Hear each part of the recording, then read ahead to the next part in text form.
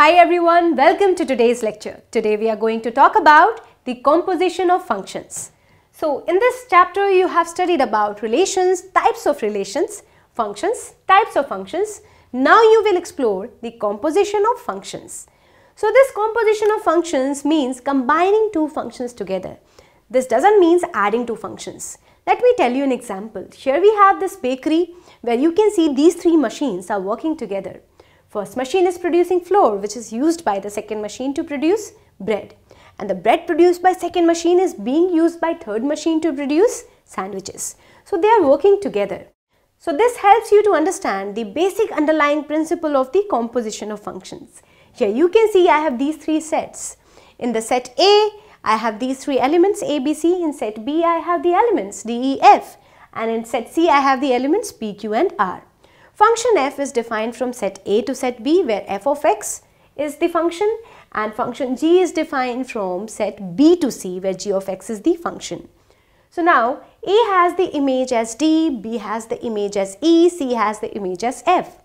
So these three elements D, E, F are acting as the domain for this function g where the image of D is P, for E it is Q, for F it is R.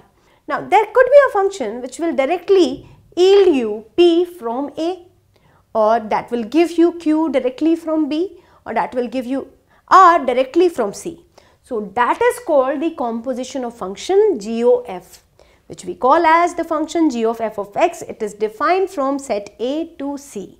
Here the domain will be A and the codomain will be set C. Now how does it works? Let's see that with the help of this example. Here you can find I have set A, B and C. In set A I have the elements 1, 2, 3 and 4 and in set B I have the elements 2, 4, 6 and 8. Now function f is defined from set A to B where f of x is equal to 2 of x. Next I have this function g defined from set B to set C. Here you can see clearly I have these elements belonging to set C. So when you see this function f of x, according to this function, 1 has the image as 2, 2 has the image as 4, 3 has image as 6 and 4 has image as 8.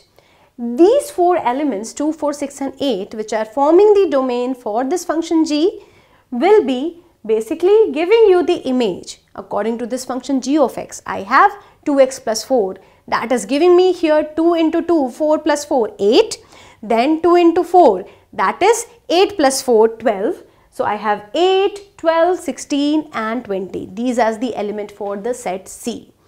So now there could be a function which will directly give me 8 from 1 which can directly give me here 12 from 2 so I will be obtaining that function. That is called the composition of function g of f. What is that? This is g of f that is g of f of x. So here f of x is 2x and g of x is clearly 2x plus 4. So when I talk about g of f, this is composition of function f and g. This is g of f of x that is g of 2x and that gives me 2 of 2x plus 4 that is 4x plus 4. So here each and every element of the set C are obtained through this function g of f of x. You can clearly see if you put here x or replace x by the elements from this set A. When 4x plus 4 is their function g of f of x, you substitute x as 1. You obtain here g of f of x as 8. When you substitute x as 2, you obtain g of f of 2 equal to 12. So in similar manner, all these elements belonging to the set C will be obtained as the range of this function g of f of x. That's why this is composition of function defined from set A to set C. So now when this composition of function will be defined? This will be defined when the range of this function f will be subset of domain of the function g. Then only you can say that this is defined. Here let's take up the actual definition. You can write on over here that let f be a function defined from a to b, g be a function defined from b to c. Then the composition of function f and g is denoted by g o f and it is defined at function g of f defined from a to c. It is given by g of f of x for all x belonging to a. You can see that domain will be set a and codomain will be set c. So this is quite clear from this example that when this function g of f is defined, I can clearly see that each and every element belonging to the set A is having an image in set B, each and every element belonging to set B is having an image in set C.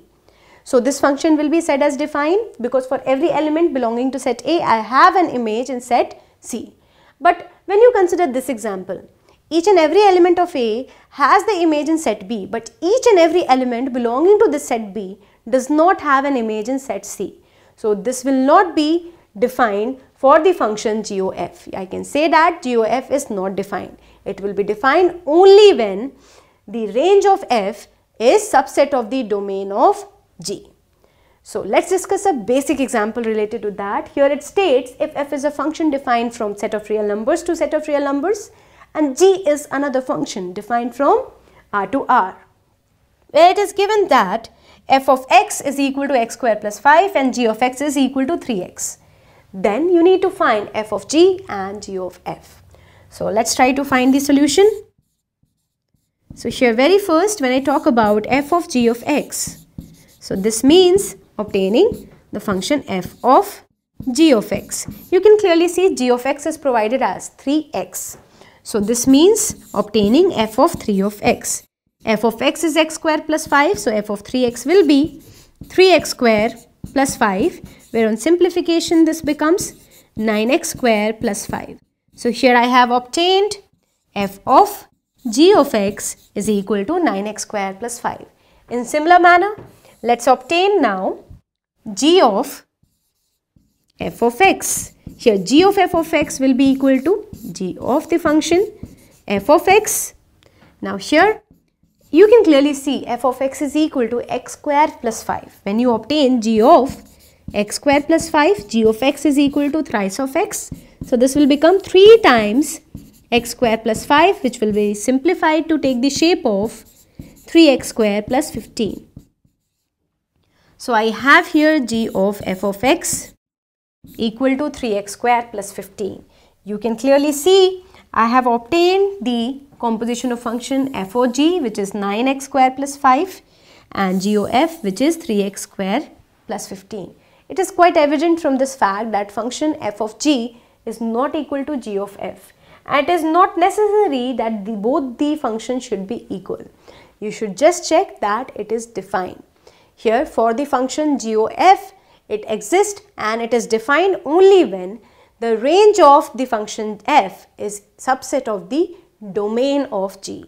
I hope it is clear to you. So now let's discuss few more questions based on the composition of functions.